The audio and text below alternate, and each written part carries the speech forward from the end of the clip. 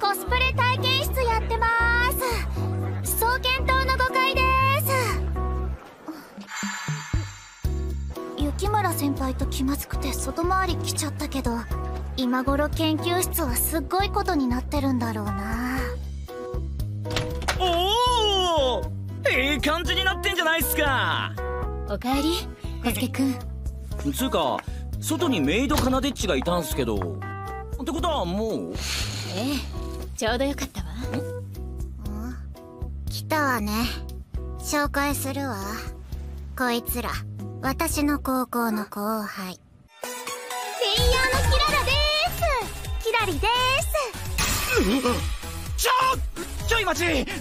もしかしてキラキラ姉妹さんっすか？あれ？ご存知でしたか？嬉しい。フォロワー数100万超え。コスプレ写真を上げれば即バズりまくり。あのネットで有名な双子レイヤーの。なぜ俺に紹介しねえ。そんなんだからよ。今日はいろんな方にコスプレしてもらえるって聞いて楽しみでした。キラたちヘアメイクとかもやってるんで任せてください。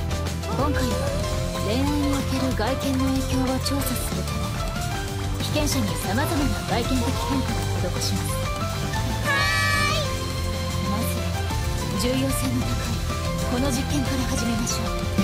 女装しろだそれは俺に言ってるそんなわせとしている暇はないこれは外見的魅力の重要性を測る重大な研究だぞ。そうよね。無理強いはしないわ。